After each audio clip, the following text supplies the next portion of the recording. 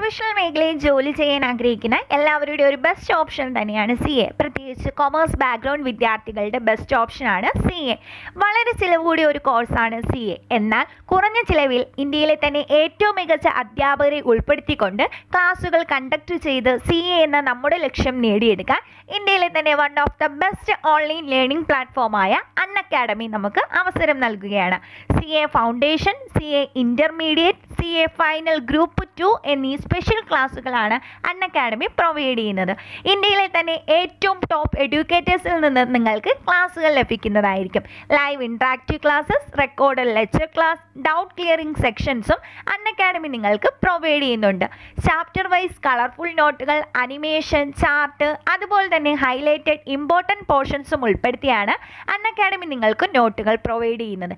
ഏറ്റവും എടുത്തു പറയേണ്ടത് മോക്ക് ടെസ്റ്റുകളാണ് നിങ്ങളുടെ എല്ലാ പോർഷൻസും കംപ്ലീറ്റ് കവർ ചെയ്തായിട്ടായിരിക്കും മോക്ക് ടെസ്റ്റുകൾ കണ്ടക്ട് ചെയ്യുന്നത്. സി എ പഠിച്ചുകൊണ്ടിരിക്കുന്നവർക്കും സി എ പഠിക്കാൻ ആഗ്രഹിക്കുന്നവർക്കും ഇനി മറ്റൊന്നും ആലോചിക്കേണ്ട.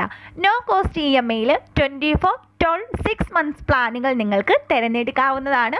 മന്ത്ലി പേയ്മെന്റും നടത്താവുന്നതാണ്. ഇതിനായിട്ട് നിങ്ങൾ ഇപ്പോൾ തന്നെ ചെയ്യേണ്ടത് പ്ലേ സ്റ്റോറിൽ നിന്നും അൺ അക്കാഡമി ആപ്പ് ഡൗൺലോഡ് ചെയ്യുക. അതിൽ നിങ്ങളുടെ ഗോൾ സി എന്ന് സെറ്റ് ചെയ്യുക. കൊമേഴ്സ് അച്ചീവേഴ്സ് ഫാമിലി മെമ്പേഴ്സിനായിട്ട് അൺ അക്കാഡമി പ്രൊവൈഡ് ചെയ്യുന്നത് ടെൻ പെർസെന്റേജ് ഡിസ്കൗണ്ട് ആണ്. അതിനായിട്ട് നിങ്ങൾ ചെയ്യേണ്ടത് അച്ചീവേഴ്സ് എന്നുള്ള കോഡ് യൂസ് ചെയ്യുക. കൂടുതൽ ഡീറ്റെയിൽസ് നമ്മൾ ലിങ്കും ഡിസ്ക്രിപ്ഷൻ ബോക്സിൽ കൊടുക്കാം. അപ്പോൾ അതിൽ നിന്ന് നിങ്ങൾ കൂടുതൽ കാര്യങ്ങൾ നോക്കുക. ഇപ്പോൾ തന്നെ നിങ്ങൾ അൺ അക്കാഡമിയിൽ ആപ്പ് ഡൗൺലോഡ് ചെയ്യുക എന്നിട്ട് സി എ കോഴ്സിനായിട്ട് തയ്യാറാകുക അപ്പോൾ കോഡ് മറക്കേണ്ട അച്ചീവേഴ്സ് എന്നാണ് കോഡ്. മാസ് അച്ചീവേഴ്സിന്റെ പുതിയൊരു ക്ലാസ്സിലേക്ക് സ്വാഗതം. കഴിഞ്ഞ ക്ലാസ്സിൽ നമ്മൾ ഫസ്റ്റ് മൊഡ്യൂൾ കഴിഞ്ഞിരുന്നു. ഇനി നമുക്ക് സെക്കൻഡ് മൊഡ്യൂളിലേക്ക് പോകാം. ഇന്ന് നമ്മൾ പഠിക്കുന്നത് data and information knowledge management internet access methods ഇവയൊക്കെയാണ്. ആദ്യം നമുക്ക് ഡേറ്റ എന്താണെന്ന് നോക്കാം. റോ ഫാക്സ് അല്ലെങ്കിൽ കളക്ഷൻ ഓഫ് ഫാക്സിനെയാണ് ഡേറ്റ എന്ന് പറയുന്നത്. റോ മെറ്റീരിയൽസിനെയാണ് ഇവിടെ ഡേറ്റ റെപ്രസെന്റ് ചെയ്യുന്നത്. ഇവ എപ്പോഴും അൺപ്രോസസ്ഡ് അല്ലെങ്കിൽ അൺഓർഗനൈസ്ഡ് ഫോമിലായിരിക്കും എന്നാൽ നമുക്ക് ഈ ഡേറ്റയെ ഓർഗനൈസ് ചെയ്ത് യൂസ്ഫുൾ ഇൻഫർമേഷൻ ആക്കുവാനായിട്ട് കഴിയും. ഡേറ്റ ഒരു നമ്പർ ആകാം വേർഡ് ആകാം പിക്ചർ ആകാം അല്ലെങ്കിൽ ഒരു സൗണ്ട് റെക്കോർഡിങ്ങും ആകാം. ഇവിടെ ഡേറ്റയുടെ ഒരു ഡെഫിനിഷൻ തന്നിട്ടുണ്ട്. Data can be defined as a representation of facts concept or instruction in a formalised manner which should be suitable for communication interpretation or processing by human or electronic machine data എന്ന് പറയുന്നത് fax concept അല്ലെങ്കിൽ ഇൻസ്ട്രക്ഷനെ represent ചെയ്യുന്നു. ഇവ electronic machine ഉപയോഗിച്ചോ അല്ലെങ്കിൽ ഹ്യൂമൻസിന് തന്നെ process ചെയ്യുവാനായിട്ട് സാധിക്കും. അതുപോലെ തന്നെ കമ്മ്യൂണിക്കേഷനും ഇന്റർപ്രിട്ടേഷനും വേണ്ടിയിട്ട് ഈ ഡേറ്റയെ യൂസ് ചെയ്യാനായിട്ടും സാധിക്കും. ഇത്രയാണ് ഡേറ്റ. ഇനി നമുക്ക് ഇൻഫർമേഷൻ എന്താണെന്ന് നോക്കാം.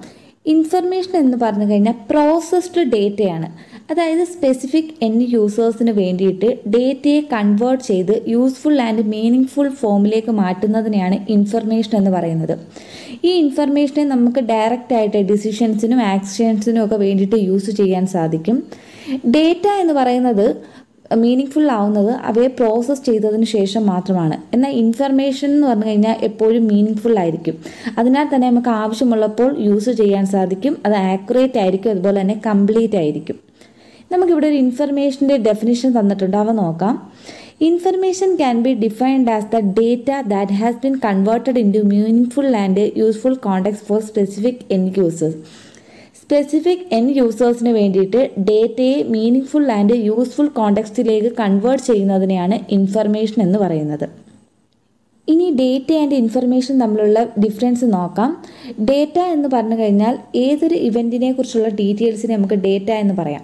എന്നാൽ ഇൻഫർമേഷൻ എന്ന് പറഞ്ഞു കഴിഞ്ഞാൽ ഈ എന്റിറ്റിയുമായി ബന്ധപ്പെട്ട ഇവൻസിനെയാണ് ഇൻഫർമേഷൻ എന്ന് പറയുന്നത്.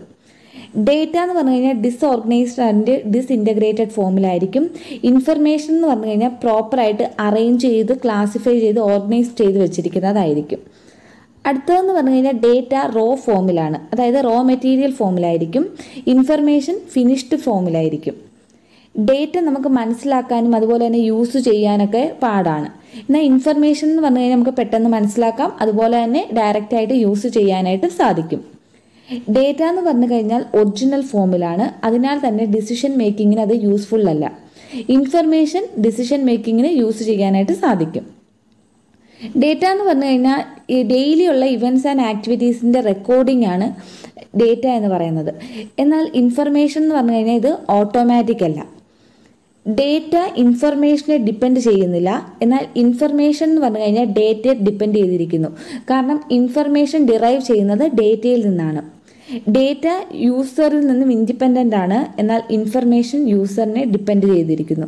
അടുത്തത് knowledge information experience wisdom insight ഇവയുടെയൊക്കെ ഒരു കോമ്പിനേഷനാണ് നോളജ് ഇത് ഓർഗനൈസേഷനും അതുപോലെ തന്നെ ഇൻഡിവിജ്വൽസിനും ബെനിഫിറ്റ് ആണ്. നോളജ് എന്ന് പറയുന്നത് പേഴ്സണലൈസ്ഡ് ഇൻഫർമേഷൻ ആണ്. ഇത് പഠിക്കുന്നതിലൂടെയോ അല്ലെങ്കിൽ എക്സ്പീരിയൻസിലൂടെയൊക്കെ നമുക്ക് നോളജ് നേടാനായിട്ട് സാധിക്കും. നോളജ് ഇൻഫർമേഷനേക്കാൾ ഒരുപടി മുകളിലാണ് എന്നാൽ വിസ്റ്റത്തേക്കാൾ ഒരുപടി താഴെയാണ്. ഇവിടെ ഒരു നോളജിന്റെ ഡെഫിനേഷൻ തന്നിട്ടുണ്ട് നമുക്ക് നോക്കാം. Knowledge is defined as everything that an individual gathers from information and data and what he incorporate into his values beliefs customs procedures and actions knowledge എന്നാൽ ഇൻഫർമേഷനിൽ നിന്നും ഡേറ്റയിൽ നിന്നും ഒരു വ്യക്തി നേടുന്നതിനെയല്ല എന്നിട്ട് അവയിൽ നിന്ന് എന്താണോ അയാൾ ബിലീഫ്സ് വാല്യൂസ് കസ്റ്റംസ് ആക്ഷൻ ഇവയിലേക്ക് ഉൾപ്പെടുത്തുന്നത് അതേ നമുക്ക് നോളജ് എന്ന് പറയാം. ഇനി നോളജ് മാനേജ്മെന്റ് എന്താണെന്ന് നോക്കാം. ഒരു ഓർഗനൈസേഷന്റെ ഇൻഫർമേഷൻ അല്ലെങ്കിൽ നോളജിനെ ക്രിയേറ്റ് ചെയ്യുന്നതും ഷെയർ ചെയ്യുന്ന യൂസ് ചെയ്യുന്ന മാനേജ് ചെയ്യുന്ന പ്രോസസ്സിനെയാണ് നോളജ് മാനേജ്മെന്റ് എന്ന് പറയുന്നത്. നോളജ് മാനേജ്മെന്റ് എന്ന് പറഞ്ഞു കഴിഞ്ഞാൽ നോളജ് ക്യാപ്ചർ ചെയ്യുന്ന ഡിസ്ട്രിബ്യൂട്ട് ചെയ്യുന്ന അതിനെ എഫക്റ്റായിട്ട് യൂസ് ചെയ്യുന്ന ഒരു പ്രോസസ്സാണ് നോളജ് മാനേജ്മെന്റ് നോളജ് മാനേജ്മെന്റ് പ്രോസസ്സിൽ ഒരു എന്റർപ്രൈസ് അവർക്ക് ആവശ്യമായിട്ടുള്ള ഇൻഫർമേഷൻ പല മെത്തേഡ്സ് ആൻഡ് ടൂൾസ് ഉപയോഗിച്ച് കളക്ട് ചെയ്യും. എന്നിട്ട് ഡിഫറെന്റ് ടെക്നിക്സ് ഉപയോഗിച്ച് ആ ഗ്യാദർ ചെയ്ത ഇൻഫർമേഷനെ സ്റ്റോർ ചെയ്ത് അനലൈസ് ചെയ്യും. എന്നിട്ട് ഈ നോളജ് ഓർഗനൈസേഷണൽ ആക്ടിവിറ്റീസ് ആയിട്ടുള്ള ഡിസിഷൻ മേക്കിങ്സ് അല്ലെങ്കിൽ പുതിയ മെമ്പേഴ്സിന്റെ ട്രെയിനിങ്സ് ഇങ്ങനെയുള്ള ആവശ്യങ്ങൾക്ക് വേണ്ടിയിട്ട് ഈ ഇൻഫർമേഷൻ യൂസ് ചെയ്യും. ഇവിടെ നോളജ് മാനേജ്മെന്റ് ഒരു ഡെഫിനിഷൻ തന്നിട്ടുണ്ട്. അതെന്താണെന്ന് നോക്കാം. Knowledge management is defined as a systematic management of an organisation's knowledge asset for the purpose of creating value and meeting tactical and strategic requirements knowledge management എന്ന് പറഞ്ഞു കഴിഞ്ഞാൽ ഒരു ഓർഗനൈസേഷന്റെ നോളജ് അസറ്റിനെയൊക്കെ അവരുടെ സ്ട്രാറ്റജിക് അതുപോലെ തന്നെ ടാക്ടിക്കൽ റിക്വയർമെന്റ്സ് നേടിയെടുക്കുവാൻ വേണ്ടിയിട്ട് systematic ആയിട്ട് മാനേജ് ചെയ്യുന്ന പ്രോസസ്സാണ് നോളജ് മാനേജ്മെന്റ് അടുത്തതാണ് knowledge management process data collection organising summarising analysing synthesising storing ഇങ്ങനെ ഡേറ്റയുമായിട്ട് ബന്ധപ്പെട്ടിട്ടുള്ള എല്ലാ പ്രോസസ്സിനെയും കൂടെ ചേർത്താണ് നോളജ് മാനേജ്മെന്റ് പ്രോസസ്സ് എന്ന് പറയുന്നത്. ഇൻഫർമേഷനിൽ നിന്നും ഡിറൈവ് ചെയ്യുന്ന ഈ നോളജിനെ നമുക്ക് ആവശ്യമുള്ളപ്പോൾ ഡിസിഷൻ മേക്കിങ്ങിന് വേണ്ടി യൂസ് ചെയ്യാൻ സാധിക്കും. ഇതൊരു ഓർഗനൈസേഷനെ സംബന്ധിച്ച് വളരെ ബെനിഫിറ്റ് ആണ്. അവരുടെ ബിസിനസ് ഓപ്പറേഷൻസും ഓവറോൾ ക്യാപ്പബിലിറ്റി ഒക്കെ എൻഹാൻസ് ചെയ്യാനായിട്ട് സഹായിക്കും. പ്രധാനമായും നോളജ് മാനേജ്മെന്റ് പ്രോസസ്സിന് സിക്സ് സ്റ്റെപ്സ് ആണുള്ളത്. അവ ഏതൊക്കെയാണെന്ന് നോക്കാം. Collecting organising summarising analysing synthesising decision making ഇവയാണ് സിക്സ് സ്റ്റെപ്സ് ഇനി ഓരോന്നും എന്താണെന്ന് നോക്കാം. ഫസ്റ്റ് സ്റ്റെപ്പാണ് കളക്ടിങ് നോളജ് മാനേജ്മെന്റ് പ്രോസസ്സിന്റെ മോസ്റ്റ് ഇമ്പോർട്ടന്റ് സ്റ്റെപ്പാണ് കളക്ടിങ് എന്ന് പറയുന്നത്. ഇപ്പോൾ നമ്മൾ കളക്ട് ചെയ്യുന്ന ഡേറ്റ ഇൻകറക്റ്റോ ഇറലവന്റോ ആണെന്നുണ്ടെങ്കിൽ അത് നോളജും ഇൻകറക്റ്റ് ആവാനായിട്ട് കാരണമാകും. അതിനാൽ നമ്മൾ കളക്ട് ചെയ്യുന്ന ഡേറ്റ എപ്പോഴും കറക്റ്റും അതുപോലെ തന്നെ റെലവന്റും ആയിരിക്കണം. അടുത്തതാണ് ഓർഗനൈസിങ് ഓർഗനൈസിങ് എന്ന് പറഞ്ഞു കഴിഞ്ഞാൽ ഓർഗനൈസേഷൻ പറയുന്ന കുറച്ച് റൂൾസ് അനുസരിച്ച് നമ്മൾ കളക്ട് ചെയ്ത ഡേറ്റയെ ഓർഗനൈസ് ചെയ്യുന്നു. ഇതെന്ന് പറഞ്ഞു കഴിഞ്ഞാൽ ഡ്യൂപ്ലിക്കേഷൻ ഒക്കെ ഉണ്ടെങ്കിൽ കുറയ്ക്കാൻ വേണ്ടിയിട്ടാണ് ഇങ്ങനെ ഓർഗനൈസ് ചെയ്യുന്നത്. അടുത്ത സ്റ്റെപ്പാണ് സമ്മറൈസിങ്. സമ്മറൈസിങ് എന്ന് പറഞ്ഞു കഴിഞ്ഞാൽ നമ്മളുടെ ഈ ഇൻഫർമേഷനിൽ നിന്നും ആവശ്യമായിട്ടുള്ളതിനെ ചുരുക്കിയെടുക്കുന്നതിനെയാണ് സമ്മറൈസിങ് എന്ന് പറയുന്നത്. ഇതിന് വേണ്ടിയിട്ട് നമുക്ക് ഡിഫറെന്റ് ടൂൾസ് ഒക്കെ യൂസ് ചെയ്യാൻ സാധിക്കും. പ്രധാനമായും സോഫ്റ്റ്വെയർ പാക്കേജ് ചാർട്ട്സ് ഒക്കെ യൂസ് ചെയ്തുകൊണ്ടാണ് സമ്മറൈസിങ് നടത്തുന്നത്. അടുത്ത സ്റ്റേജാണ് അനലൈസിംഗ് എന്ന് പറയുന്നത്. അനലൈസിങ് എന്ന് പറഞ്ഞു കഴിഞ്ഞാൽ ഈ റിഡൻഡൻസീസും പാറ്റേൺസും തമ്മിലുള്ള റിലേഷൻഷിപ്പ് ഒക്കെ മനസ്സിലാക്കാൻ വേണ്ടിയിട്ടാണ് അനലൈസിങ് നടത്തുന്നത്. അടുത്തതാണ് സിന്തസൈസിങ് ഇവിടാണ് ആക്ച്വലി ഇൻഫർമേഷൻ നോളജ് ആയിട്ട് മാറുന്നത്. എന്നിട്ട് ഇവയെ ഫർദർ യൂസിന് വേണ്ടിയിട്ട് ഈ നോളജിനെ സ്റ്റോർ ചെയ്ത് വെക്കുന്നു. അടുത്ത സ്റ്റെപ്പാണ് ഡിസിഷൻ മേക്കിംഗ് എന്ന് പറയുന്നത്. ഡിസിഷൻ മേക്കിംഗ് എന്ന് പറഞ്ഞു കഴിഞ്ഞാൽ നമ്മൾ ഈ സ്റ്റോർ ചെയ്ത ഇൻഫർമേഷനെ ആവശ്യമായിട്ട് വരുമ്പോൾ ഡിസിഷൻ മേക്കിങ്ങിന് വേണ്ടിയിട്ട് യൂസ് ചെയ്യുന്നു. ഇത്രയുമാണ് സ്റ്റെപ്സ് എന്ന് പറയുന്നത്. അടുത്തത് ഇന്റർനെറ്റ് ആക്സസ് മെത്തേഡ്സ് നോക്കാം. ഇന്റർനെറ്റിൽ ധാരാളം റിസോഴ്സസ് അവൈലബിൾ ആണ്. പക്ഷേ ഈ റിസോഴ്സസിനൊക്കെ നമ്മൾ ഉപയോഗിക്കണമെന്നുണ്ടെങ്കിൽ നമ്മുടെ കമ്പ്യൂട്ടറിനെ ഇന്റർനെറ്റുമായിട്ട് കണക്ട് ചെയ്യേണ്ടതായിട്ടുണ്ട്. ആദ്യകാലങ്ങളിൽ ഇതിന് വേണ്ടിയിട്ട് യൂസ് ചെയ്തത് ഡയലപ്പ് കണക്ഷൻ ആയിരുന്നു. എന്നാൽ പിന്നീട് ബ്രോഡ്ബാൻഡ് കണക്ഷൻസ് യൂസ് ചെയ്യാനായിട്ട് തുടങ്ങി. ബ്രോഡ്ബാൻഡ് കണക്ഷന് വരുന്നതാണ് cable satellite digital subscriber line ഇതൊക്കെ. ഇനി നമുക്ക് കോമൺ ആയിട്ടുള്ള കുറച്ച് ഇന്റർനെറ്റ് ആക്സസ് മെത്തേഡ്സ് ഏതൊക്കെയാണെന്ന് നോക്കാം. First one dial up connection dial up കണക്ഷനിൽ ടെലിഫോൺ ലൈൻസ് യൂസ് ചെയ്തുകൊണ്ടാണ് കമ്പ്യൂട്ടറിനെ ഇന്റർനെറ്റുമായി കണക്ട് ചെയ്യുന്നത്. അതുപോലെ തന്നെ ഇവിടെ ഒരു മോഡം ആവശ്യമാണ്. ഈ മോഡമാണ് പി സിക്കും ടെലിഫോൺ ലൈനും ഇടയിൽ ഒരു ഇന്റർഫേസ് ആയിട്ട് വർക്ക് ചെയ്യുന്നത്. അതുപോലെ ഇവിടെ ഒരു കമ്മ്യൂണിക്കേഷൻ പ്രോഗ്രാം ഉണ്ട്. അത് മോഡത്തിന് ആവശ്യമായിട്ടുള്ള ഇൻസ്ട്രക്ഷൻസ് ഒക്കെ പ്രൊവൈഡ് ചെയ്യുന്നു. ഡയലപ്പ് കണക്ഷനിൽ യൂസ് ചെയ്യുന്നത് രണ്ട് പ്രോട്ടോകോൾസ് ആണ് സീരിയൽ ലൈൻ ഇന്റർനെറ്റ് പ്രോട്ടോക്കോളും പോയിന്റ് ടു പോയിന്റ് പ്രോട്ടോക്കോളുമാണ് ഇവിടെ യൂസ് ചെയ്യാറ്. ഡയലപ്പ് കണക്ഷൻ എന്ന് പറയുന്നത് ഏറ്റവും ചിലവ് കുറഞ്ഞ മെത്തേഡാണ്. കാരണം ഇവിടെ ഒരു സ്റ്റാൻഡേർഡ് ഫോൺ ലൈനും അതുപോലെ തന്നെ ഒരു മോഡത്തിന്റെ ആവശ്യമേ ഉള്ളൂ. ഡയലപ്പ് മോഡത്തിന്റെ ഫംഗ്ഷൻ എന്ന് പറഞ്ഞു കഴിഞ്ഞാൽ ഡിജിറ്റൽ സിഗ്നൽസിനെ അൺലോ സിഗ്നൽസ് ആക്കി മാറ്റി ടെലിഫോൺ ലൈൻസിലൂടെ ട്രാവൽ ചെയ്യാൻ ഹെൽപ്പ് ചെയ്യുന്നു. അതുപോലെ തന്നെ തിരിച്ച് കമ്പ്യൂട്ടറിലേക്ക് വരുമ്പോൾ ഈ അൺലോക്ക് സിഗ്നൽസിനെ ഡിജിറ്റൽ സിഗ്നൽസ് ആക്കി മാറ്റുകയും ചെയ്യുന്നു. ഇത്രയുമാണ് ഡയലപ്പ് കണക്ഷൻ അടുത്ത് നമുക്ക് ഡിജിറ്റൽ സബ്സ്ക്രൈബർ ലൈൻ എന്താണെന്ന് നോക്കാം.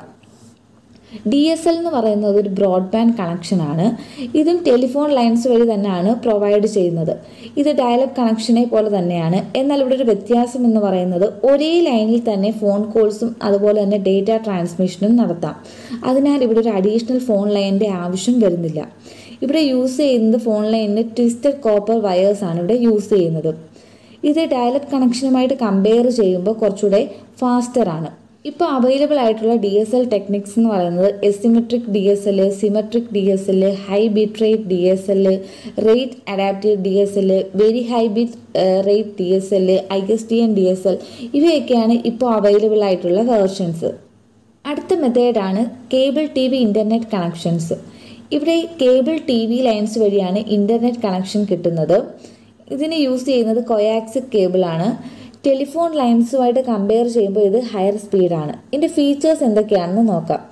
കേബിൾ ഓപ്പറേറ്റർ ഒരു മോഡം പ്രൊവൈഡ് ചെയ്യും. ഇതാണ് ഇന്റർനെറ്റ് ആക്സസിന് വേണ്ടിയിട്ട് യൂസ് ചെയ്യുന്നത്. അതുപോലെ തന്നെ ഈ കേബിൾ മോഡത്തിന് രണ്ട് കണക്ഷൻസ് ഉണ്ട്. ഒന്ന് ഇന്റർനെറ്റ് സർവീസും മറ്റൊന്ന് കേബിൾ ടി വി സിഗ്നൽസിന് വേണ്ടിയിട്ട്. അതുപോലെ തന്നെ ഈ കേബിൾ ടി വി ഇന്റർനെറ്റ് കണക്ഷനിൽ ബാൻഡ്വിഡ് കപ്പാസിറ്റി എന്ന് പറഞ്ഞു കഴിഞ്ഞാൽ അതിൽ എത്ര നമ്പർ ഓഫ് കസ്റ്റമേഴ്സ് യൂസ് ചെയ്യുന്നു അതിനെ ഡിപ്പെൻഡ് ചെയ്തിരിക്കും. ഇത്രയാണ് cable T V internet connections അടുത്ത മെതേഡാണ് integrated service digital network I S T എന്ന് പറഞ്ഞു കഴിഞ്ഞാൽ ബിസിനസ്സിലും അതുപോലെ തന്നെ കൊമേഴ്ഷ്യൽ യൂസിനും വേണ്ടിയിട്ടാണ് കൂടുതലും ഉപയോഗിക്കുന്നത്. ഇവിടെ അൺലോക്ക് സിഗ്നൽസിന് പകരം ഡിജിറ്റൽ സിഗ്നൽസ് ആണ് ക്യാരി ചെയ്യുന്നത്. ഐ എസ് ഡി എന്ന് പറയുന്നത് ടെലിഫോൺ നെറ്റ്വർക്കിന്റെ ഒരു ഡിജിറ്റലൈസ്ഡ് ഫോമാണ്. അതിനാൽ തന്നെ വോയിസ് ഗ്രാഫിക്സ് ടെക്സ്റ്റ് അങ്ങനെയുള്ള ഡേറ്റാസിനൊക്കെ ഡേറ്റാസൊക്കെ യൂസേഴ്സിന് നമുക്ക് നിലവിലുള്ള ടെലിഫോൺ വയറിംഗ് വഴി തന്നെ ട്രാൻസ്മിറ്റ് ചെയ്യാനായിട്ട് സാധിക്കും. ഇവിടെ ഡൗൺലോഡിംഗ് സ്പീഡ് എന്ന് പറഞ്ഞു കഴിഞ്ഞാൽ ഡയലപ്പ് കണക്ഷനേക്കാളും നാല് ഇരട്ടി കൂടുതലായിരിക്കും. പ്രധാനമായിട്ടും I S T N services delivery ചെയ്യാൻ രണ്ട് ടെക്നിക്സ് ആണുള്ളത് ബേസിക് റേറ്റ് ഇന്റർഫേസും പ്രൈമറി റേറ്റ് ഇന്റർഫേസും ബേസിക് റേറ്റ് ഇന്റർഫേസ് എന്ന് പറഞ്ഞു കഴിഞ്ഞാൽ ഇതിൽ ത്രീ ഡിസ്റ്റിങ്ക്റ്റ് ചാനൽസ് ആണ് ഉള്ളത്. പ്രൈമറി റേറ്റ് ഇന്റർഫേസ് എന്ന് പറഞ്ഞു കഴിഞ്ഞാൽ ഇവിടെ ട്വന്റി ത്രീ ബി ചാനൽസും ഒരു ഡി ചാനലുമാണ് ഉള്ളത്. അടുത്തതാണ് satellite internet connection high speed internet connection provide ചെയ്യുന്ന ഒന്നാണ് സാറ്റലൈറ്റ് ഇന്റർനെറ്റ് കണക്ഷൻ ഇത് ടു ടൈപ്സ് ആണുള്ളത്. വൺ വേ കണക്ഷനുമുണ്ട് ടു വേ കണക്ഷനുമുണ്ട് വൺ വേ കണക്ഷൻ എന്ന് പറഞ്ഞു കഴിഞ്ഞാൽ നമുക്ക് സാറ്റലൈറ്റ് ഉപയോഗിച്ചുകൊണ്ട് ഡേറ്റ ഡൗൺലോഡ് ചെയ്യാൻ പറ്റും. പക്ഷേ അപ്ലോഡ് ചെയ്യണമെന്നുണ്ടെങ്കിൽ ഒരു ഡയലപ്പ് ആക്സസ് ആവശ്യമാണ്. ടു വേ കണക്ഷൻ എന്ന് പറഞ്ഞു കഴിഞ്ഞാൽ നമുക്ക് സാറ്റലൈറ്റ് ഉപയോഗിച്ചുകൊണ്ട് തന്നെ ഡേറ്റ ഡൗൺലോഡ് ചെയ്യാനും അപ്ലോഡ് ചെയ്യുവാനായിട്ട് സാധിക്കും. ഇവിടെ ഒരു ഡയലപ്പ് കണക്ഷന്റെ ആവശ്യമില്ല. അടുത്തതാണ് wireless internet connection radio frequency bands ഉപയോഗിച്ചുകൊണ്ട് ഇന്റർനെറ്റിലേക്ക് കണക്ട് ചെയ്യുന്ന ഒന്നാണ് വയർലെസ് ഇന്റർനെറ്റ് കണക്ഷൻ. ഇത് ഹൈ സ്പീഡാണ്. ഈ വയർലെസ് ഇന്റർനെറ്റ് കണക്ഷൻ ഒപ്റ്റെയിൻ ചെയ്യുന്നത് വൈഫൈ അല്ലെങ്കിൽ ബ്ലൂടൂത്ത് വഴിയായിരിക്കും. വൈഫൈ വയർലെസ് ടെക്നോളജി എന്ന് പറയുന്നത് ഇലക്ട്രോണിക് ഡിവൈസിനെ ഇന്റർനെറ്റുമായി കണക്ട് ചെയ്യാൻ സഹായിക്കുന്നു. അതുപോലെ തന്നെ ബ്ലൂടൂത്ത് വയർലെസ് ടെക്നോളജി എന്ന് പറഞ്ഞു കഴിഞ്ഞാൽ short wavelength radio waves ആണ് ഇവിടെ യൂസ് ചെയ്യുന്നത്. അതിനാൽ നമുക്ക് പേഴ്സണൽ ഏരിയ നെറ്റ്വർക്ക്സ് ക്രിയേറ്റ് ചെയ്യാനായിട്ട് സാധിക്കും. ഇത്രയാണ് ഇന്റർനെറ്റ് ആക്സസ് മെത്തേഡ്സ് ഇന്ന് പറഞ്ഞ പോർഷൻസ് ഒക്കെ എല്ലാവരും ഒന്ന് വായിച്ചു നോക്കുക. പഠിക്കാൻ വളരെ എളുപ്പമാണ്. പെട്ടെന്ന് തന്നെ നമുക്ക് മനസ്സിലാക്കാനായിട്ട് സാധിക്കും. താങ്ക്